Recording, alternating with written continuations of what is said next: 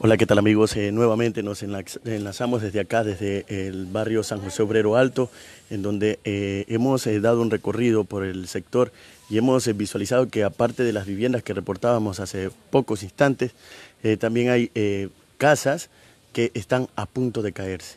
Por acá aún no ha llegado ninguna autoridad, ya deberían de haber llegado del MIE, del municipio, de algunas instituciones a hacerse presentes pero la gente manifiesta que están a la espera de una ayuda, están a la buena de Dios. Es más claro, para explicarlo así.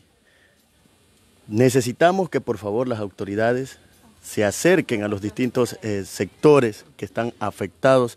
Por aquí tenemos una amiga que está eh, bastante eh, preocupada por la situación en que está su vivienda. Amiga, buenos días. Cuéntenos un poco, ¿cómo está la situación actualmente en su, en su propiedad? No solamente en la mía, en la de mi vecino. El barrio entero está caóticamente.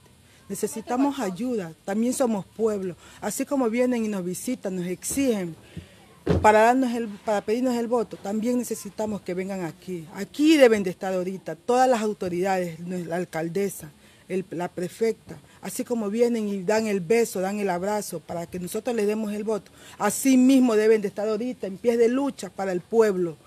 ¿ya? También somos Ecuador, también somos Esmeralda. Señor presidente, aquí estamos. En este caso, ¿qué pasó, por ejemplo, su casa? ¿Cómo está? Que no puedo ni pisar. Si piso, me voy abajo con todo. No es grande mi casa, pero era mi cobijo, el de mis hijos, y ahora estoy aquí. ¿Y ahora cómo va a ser? ¿Dónde está durmiendo? En la casa de mi hija tengo que estar reposada. Y así estamos muchos. Mírenlo, miren que no es mentira, estamos los vecinos, están afuera sentados porque no se puede pasar a las casas. La casa de aquí de mi vecino. Y para cocinar y esas cosas, ¿cómo están haciendo? Así, comiendo.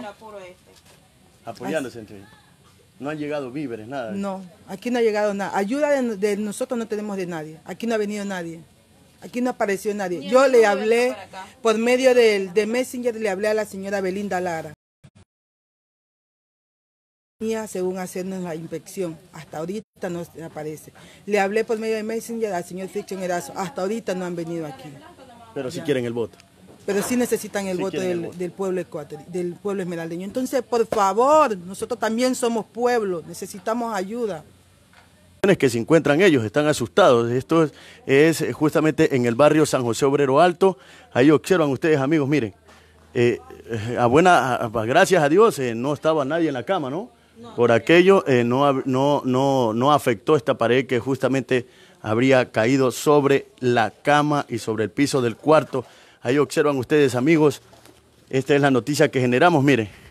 Miren las condiciones, están las paredes caídas, aquí el amigo está tratando pues justamente de arreglar un poco su vivienda, pero en todo caso, amigo, preocupado por las réplicas también. Claro, estamos preocupados por las réplicas que se están dando y, ¿sabes? Yo, que ya no, no sigan pasando las cosas que están pasando y ya le pedimos a mucha gente, a las autoridades, que nos ayuden un poco en, lo que nos está sucediendo ahorita. Ojalá que no, siga, no se sigan dando estas vainas y la, que, que Dios ponga su mano y, pare, pare un poco también esto que se están dando. Amigo, y en este caso pues también ustedes exigen también la seguridad por parte de la policía, porque los dueños del ajeno también están haciendo de las suyas también. Claro, también le exigimos a las autoridades que se lo puedan ayudar un poco, pero mire, estoy aquí despampado, estoy abierto, tengo las cosas aquí afuera.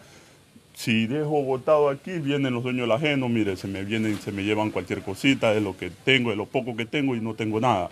Y mira, gracias a Dios y que no ha pasado cosas y no ha habido de alguien que se haya lesionado, nada, pero gracias a Dios no, ese día no encontrábamos nada aquí en la casa, pero ahí estoy tratando. Ya, esta es la casa de la familia Sevillano Ulloa y cualquier cosita, ayúdenos, hagan un... Lleguen aquí las autoridades para que miren cómo se está viviendo las cosas acá arriba en San José Obrero Alto. Preocupada la gente. Preocupada, toda la gente, toda la comunidad aquí en este barrio, estamos preocupados todos, más que todo yo también. Gracias de todas maneras. Bien, ahí escucharon ustedes amigos, miren, ellos están en su casa pues totalmente destrozados. La cocina también está desbaratada, no tienen cómo cocinar amigos. Ellos están tratando de recoger lo poco que les ha quedado por este sismo que ocasionó bastantes daños materiales a las viviendas eh, cercanas acá a este lugar. Ahí observan ustedes cómo están, por favor, acercarse, ayudar, apoyar. Los esmeraldeños somos eh, gente de buen corazón y en todo caso pues eh, podrán llegar hasta aquí a apoyar a esta humilde familia que lo necesita necesita de la ayuda de ustedes. Ahí observan ustedes, amigos, esta es la noticia que nosotros generamos. hace pocos instantes, pues entrevistábamos a una ciudadana que nos mostraba las condiciones de su vivienda. Ahí observan ustedes, este es eh, su, casa, ¿no? Su cobijo, como lo manifestó ella. Eh, ahí observan que está a punto de caerse. Esto eh, está sucediendo justamente en el barrio San José Obrero Alto, en donde pues ninguna autoridad se ha hecho presente hasta el momento. Ahí observan ustedes, está a punto de caerse, la infraestructura está bastante dañada. ustedes pueden observar, se han apostado la mayoría de los ciudadanos que habitan acá a un costado eh, de la vía. Ellos están afuera de sus viviendas, eh, viendo qué hacer, a la esperanza de Dios.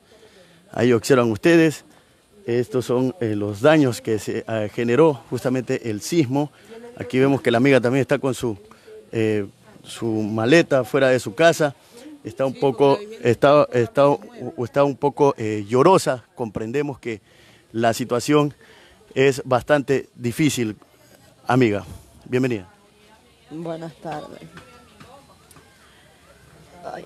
Ese es el sentir de los esmeraldeños que claman la ayuda ahorita de nuestras autoridades, de aquellos que vinieron a pedir el voto acá. Que todos que tenemos una madre enferma. Porque tenemos una persona con discapacidad y prácticamente hemos perdido todo y necesitamos que nos ayuden. Sin palabras, la amiga, que en estos momentos pues claman por ayuda por parte de nuestras autoridades. Ahí observan ustedes, amiga, ¿me puede mostrar un poco? Eh, aquí, pues. Si es que se mueve todo. En, eh, eh, ustedes pueden observar. ahí observan ustedes, ellos están tratando de recoger sus pertenencias para apostarse en la parte de afuera de esta vivienda. De esta vivienda. ellos van a salir, van a salir, ¿no? Sí, porque miren, ahí miren la cocina baño también está. Sí, ellos manifiestan que eh, eh, está desprendida justamente la casa acá. Eh, ahí observan ustedes, amigos, por favor, acercarse. acercarse hasta acá. el lamento de, las personas que viven acá manifiestan que tienen una persona, pues, justamente con discapacidad. la persona está justamente en la Taguara, manifiestan, pero que aún no ha llegado eh, ninguna autoridad hasta este sector.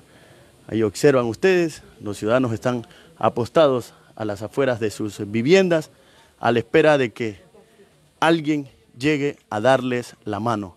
Nosotros vamos a continuar en este recorrido que hemos eh, dado hoy para que ustedes conozcan y que aquellos eh, que pueden donar de repente un colchón, una sábana, lo que ustedes puedan hacerlo, pueden acercarse hasta acá, hasta este sector, porque en la Taguara, en la Taguara. Sí, ahí hay alguna familia. ¿Alrededor de cuántas familias están ahí? En la noche unas 15, 16 dormimos. 15. 15, 16 dormimos. Ya, ¿y cómo están haciendo para los alimentos y esas cosas? Ahorita, por ejemplo, recogimos de dólar en dólar y estamos cocinando ahí. Quien tenía en su casa algún limón, alguna cebolla, la iba llevando y están cocinando. ¿Usted está con sus hijos ahí? Un hijo yo tengo. Pero estaban con ellos, sí. ahí. ¿Y la persona que, manifestaban con discapacidad y estas cosas? Es mi mamá, pues. ¿Y cómo está la señora? Una la casa de aquí. Ella está estable porque igual estamos dando su medicación, está estable ahorita. Pero no la bajamos ni nada porque se nos cayó ayer.